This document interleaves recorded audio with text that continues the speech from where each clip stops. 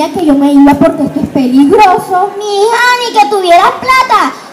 Pareciera que tuvieras plata. Y le dé más de 15 pavos diarios. Pena, qué vergüenza aquí contigo yo. Niña, tú nada más tienes la cabeza para cría, pío. Hablando que por acá, que por acá roban. Niña, eso era, esa era hace ocho años. Cuando el, antes las malas administraciones echaban la ciudad, echaban a perder. Porque con este nuevo modelo de gobierno, mija, esto es una belleza. ¿Cuál belleza? Yo, yo soy una belleza y muchas gracias, yo lo sabía. No estoy hablando de ti, estoy hablando de todo esto. Todo esto, esto no es buena vista. Niña, tú andas más perdido que la mamá del cabo, óyeme. Mija, estoy hablando de plaza de marisco y comida popular. Anda, Chechi. Oye, qué bueno, me parece súper bien. Oye, o sea que yo puedo venir y hablar con Rafa que me lo he puesto por acá para vender mis pescados. Porque yo tengo pillado los pescados del parque del agua que están así de tipo tubo. Hasta las escamas tienen este carne bastante. Oye, con tal que tú eres la que te está robando los pescados del parque del agua. No, yo no me lo estoy robando. O sí me robó uno, pero no, yo no me lo estaba robando. Esta pela sí es. Oye, le voy a decir a Rafa que te andas robando los pescados del parque del agua. Les voy a decir, yo lo vi por ahí, yo no No, no, Chiqui, no lo digas nada. Mira, mejor vamos a hablar, a decirle las obras que ha hecho. Vamos a contar por qué vas a buscar pelea, vamos. Vamos a buscarlo. ¿Dónde está él? Rafa, mi amor. Mira, está por aquí. Hola, Rafa, ¿cómo estás? Mira, te presento a Chechi. Ya lo conocía, niña. Ah, bueno, te lo vuelvo a presentar. Mira, ven acá, espérate un momentico. Yo te voy a hacer una pregunta. Bien, Rafa. Bien, mira, si el mercado hablara, ¿tú, crees, ¿tú qué crees que él te diría? Oye, esto no estaba en el libreto.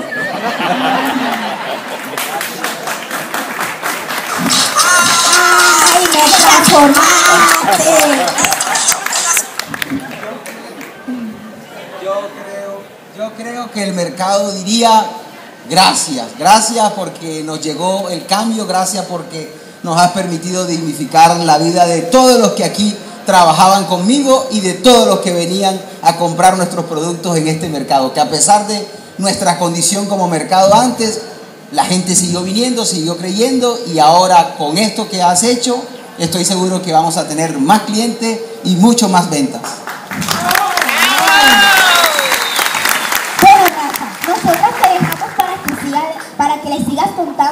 Todo lo que va a pasar aquí en el mercado. Bueno, nosotras nos vamos. Bueno, muchas gracias. Chao, Chechi. Ah, pero espérense, espérense, espérense.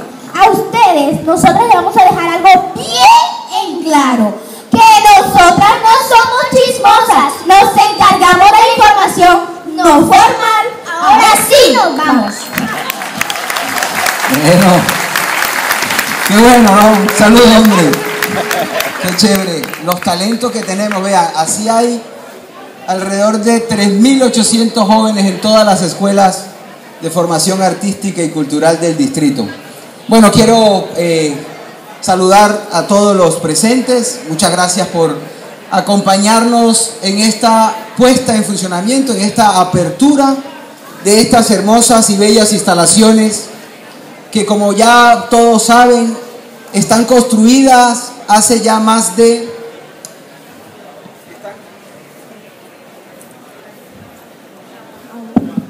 Están construidas hace ya más de 8 o 9 meses.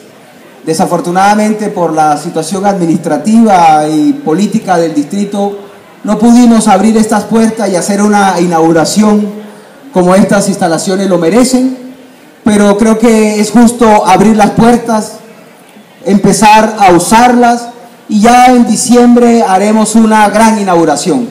A esta obra hay que inaugurarla por lo alto, por lo grande, trayendo al gobierno nacional, trayendo a todas las agencias de turismo, trayendo a todos los gremios, trayendo a todas las eh, autoridades policivas, militares, administrativas, porque este proyecto representa el cambio que ha traído la ciudad en los últimos años. Este proyecto es uno de los proyectos contemplados en el Plan Santa Marta 500 años. Y qué bueno, y en este proyecto se ve la importancia de las políticas públicas, de la continuidad de las políticas públicas, de la continuidad de los proyectos que en el pasado cada cuatro años se frenaban, que en el pasado cada cuatro años el alcalde que llegaba empezaba lo suyo y terminaba lo suyo, y el que llegaba no encontraba nada. Y eso nos llevó a una ciudad sin norte, sin rumbo, donde obviamente se abrió espacio y ganó terreno la informalidad, la ilegalidad. En este plan, Santa Marta 500 años está como uno de sus proyectos la recuperación integral del mercado público. Y desde el periodo anterior se empezó ese proceso, no solo de la retoma de la concesión, sino la recuperación integral, a la que nosotros le dimos continuidad en todos sus detalles.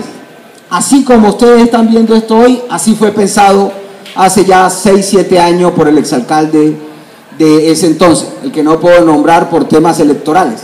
Pero este proyecto lo que buscaba es no solo generar mejores condiciones de vida, mejores condiciones económicas para quienes ejercían la actividad comercial aquí, sino convertirlo en un lugar turístico, en un atractivo turístico, en un paso obligado por Santa Marta. Todo el que venga a Santa Marta, estoy seguro, va a venir al mercado público de la ciudad a eh, no solo a conocerlo, sino a disfrutar de su gastronomía, de su comida, de su ambiente, de la atención de los amarios y obviamente a comprar sus productos.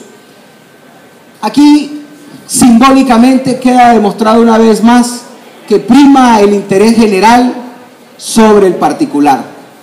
En este mercado habían intereses particulares que se sobrepusieron al interés general, el de los grupos armados, el de los que se apropiaron de una parte del espacio público y que nos llevó dos, tres años recuperar esos bienes fiscales. Aquí hay recuperado más de 8 mil metros cuadrados de bienes fiscales, de bienes públicos, de bienes colectivos, aparte de los bienes recuperados de la concesión. Y quiero hacerle un reconocimiento a todo ese equipo, a Abraham, a César, a Ricardo, a todos los que han hecho parte de ese equipo que lideró la recuperación de toda esta zona a pesar de las amenazas, de las presiones, de las intimidaciones, de todo lo que llovió sobre ellos, se mantuvieron firmes eh, con una convicción de que estamos haciendo lo correcto. Muchos ceden ante la primera llamada, muchos ceden ante la primera presión, muchos ceden frente a la primera intimidación o amenaza. No, este equipo y el gobierno no se dio y no vamos a ceder en lo que tenga que ver con el interés general. Cuando uno decide gobernar, gobierna para todos y gobierna en razón a lo que hay que hacer, cueste lo que cueste, toque al que toque, afecte al que tenga que afectar, porque aquí sí se crearon privilegios, privilegios que algunos no han querido soltar. Estas instalaciones van a permitir a todos los que hoy dignamente van a empezar a ocupar cada uno de sus locales, no solo ejercer un comercio limpio, las fotos, ustedes las ven, no son un montaje. Y hoy uno se pregunta, ¿nosotros comprábamos allí? ¿Nosotros comercializábamos allí? Ese era nuestro mercado, ese era nuestro mercado. Así que a partir de este proceso de recuperación vamos a tener no solo instalaciones más limpias, sino que esperamos un comercio más seguro, un comercio familiar, que vuelva al mercado la familia, que vuelva al mercado el pobre, el rico, el profesor, el magistrado, el abogado, el taxista, el albañil, que vuelva al mercado toda la sociedad, toda la ciudad, que vengan con tranquilidad al mercado, no solo porque van a encontrar seguridad, sino porque van a encontrar limpieza, van a encontrar buenos y frescos productos, pero también van a encontrar los mejores precios y la mejor atención de todo lo que le puedan ofrecer en Santa Marta. Aquí van a encontrar lo mejor. En los procesos de sorteos le hicimos el llamado, hicimos un llamado a los comerciantes. El gobierno ha hecho un esfuerzo gigante a lo largo de estos dos periodos. El plan de desarrollo equidad para todos, primero los niños y las niñas, y nuestro plan de desarrollo Unidos por el Cambio, Santa Marta, Ciudad del Buen Vivir. Aquí hay más de 15 mil millones de pesos invertidos que ponemos bajo administración transitoria de una concesión, amoblamiento urbano, que nos va a ayudar con la administración y la gestión, mientras pasa la ley de garantías y podemos completar el análisis de los escenarios jurídicos para ver a partir del 2020 quién va a administrar. Pero independientemente de quien administra y gestiona el lugar, esos puestos en esta plazoleta, en esos restaurantes y en cada uno de los puntos de venta de pescado van a estar ustedes, los beneficiarios. Y de ustedes va a depender que este proyecto sea exitoso de ustedes va a depender que el cliente vuelva. De ustedes va a depender de su atención, de su amabilidad, de su limpieza, de su honestidad, de su lenguaje, de su acatamiento al plan o al manual de convivencia, de su interés en que venga mucha gente cada día. Va a depender el éxito de este proyecto. Si volvemos a caer en las prácticas pasadas, de no importarnos el sucio, de no importarnos la mala atención, de no importarnos eh, la salubridad, de no importarnos la seguridad, de no importarnos nada, esto va a empezar a deteriorarse. Desde la primera silla que se dañe hay que arreglarla enseguida, porque como se daña la primera y se daña la segunda y se daña la tercera, se va a terminar dañando todo otra vez. Y esto es un proyecto sostenible en el tiempo. Por eso hay que también hacer un reconocimiento a los beneficiarios que han pasado, la mayoría, faltan algunos, por un proceso de formación, porque en cada uno de estos puntos van a estar tres personas que antes ejercían una actividad independiente, solos, y hoy van a tener que compartir una unidad física, pero también una unidad de negocio, es decir, una empresa que bien administrada, bien gestionada, bien llevada por ustedes, los va a hacer no solo poseedores de un capital, sino van a acrecentar, van a acrecentar además sus ingresos. De eso se trata, de que ustedes pasen a ganar ahora el doble, el triple de lo que antes ganaban. No tiene sentido toda esta inversión para que sigan ganando lo mismo. Pero esa utilidad, esa rentabilidad, ese ingreso va a depender de que llegue gente. Necesitamos que llegue mucha gente. 80 puestos de pescado. ¿Cuánto tiene que vender cada uno? ¿Por cuántos kilos por persona? Quiere decir que al mercado tienen que llegar diario muchas personas a comprar pescado. Y muchos amarios tienen que llegar aquí a comprar toda la comida. Que hemos dicho comida popular, pero le hemos abierto el espacio a seis locales para que restaurantes gourmet, restaurantes reconocidos, de marca posicionada, de cocina posicionada, de sazón posicionada, vengan aquí y con un formato más sencillo puedan también compartir esta inversión pública, pero que además también traigan sus clientes. Estoy seguro que si los que van a cualquiera de esos restaurantes llamémoslo así, encopetados o reconocidos en la ciudad, el que venga aquí va a pasar también a la plaza de pescado a comprarse y llevarse su pescado fresco. Que conozcan las instalaciones y que estoy seguro va a traer muchos beneficios. Esto es el cambio. Este es el cambio, lo que ustedes ven acá. Algunos todavía se preguntan, ¿qué es lo que ha cambiado en Santa Marta? No es el lugar, seguramente no es el momento, pero son más de 400 obras por toda la ciudad, que así como aquí le han dignificado la vida a miles y cientos de samarios. Falta mucho todavía por recorrer, porque el plan y la hoja de ruta es el Plan Santa Marta 500 años.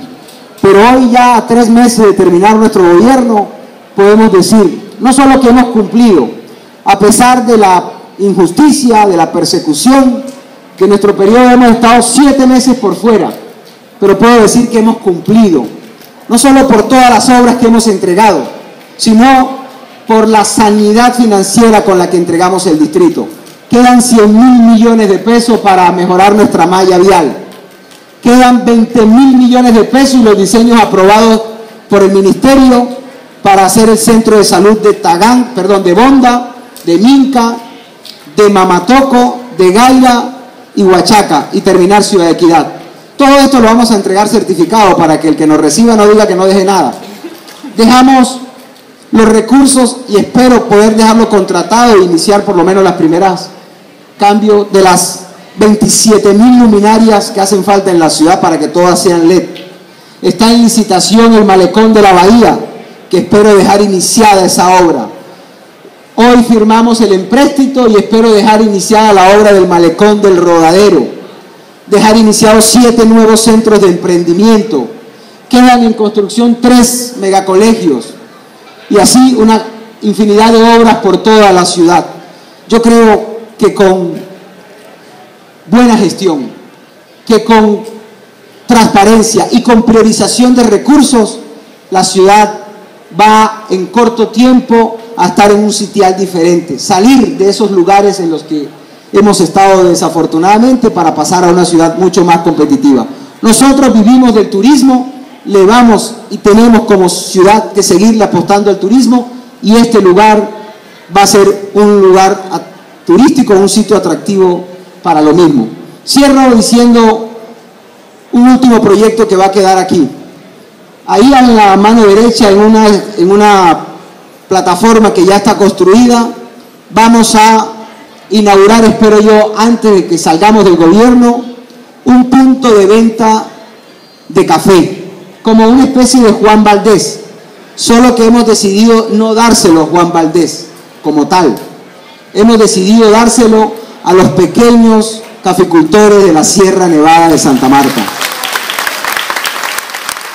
Si en el mundo el mejor café es el de café de Colombia y el mejor de café de Colombia, el mejor café de Colombia está en la sierra, pues aquí, en Santa Marta, en la plaza de comida popular, vamos a tener el mejor café del mundo para que cada uno venga y compre el café de la Esmeralda, el café del Colegio Latagua, el café de cada una de las 140 fincas que producen café. Los vamos a acompañar en su proceso de certificación, permisos INVIMA, y allí van a ustedes a comercializar su producto. Y muy seguramente todos los turistas y muchos amarios vamos a venir aquí a tomarnos ese café, el café que nos llena de orgullo por todo el mundo.